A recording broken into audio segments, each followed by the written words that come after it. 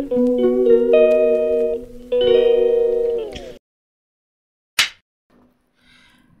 আজকে আমি আবারও আসলাম সোনারগাঁ জাদুঘরে।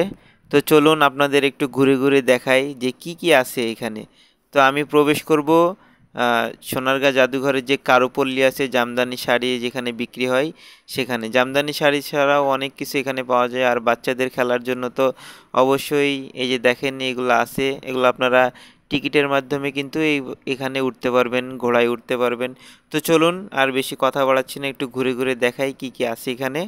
আর ভিডিওটি দেখুন, ভালো লাগলে অবশ্যই একটা লাইক দিবেন, কমেন্টে আপনার মতামত জানাবেন এবং চ্যানেলে নতুন হয়ে থাকলে অবশ্যই চ্যানেলটি সাবস্ক্রাইব করবেন। তো আর কথা বাড়াচ্ছি না, ভিডিওটি দেখুন।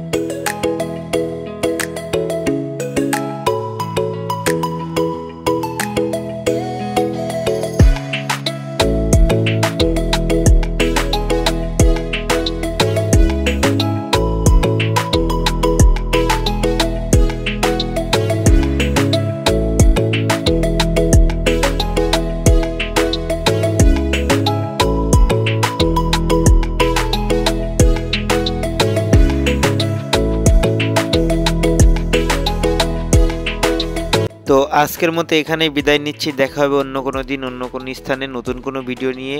সেই পর্যন্ত সবাই ভালো থাকবেন। আল্লাহ হাফেজ।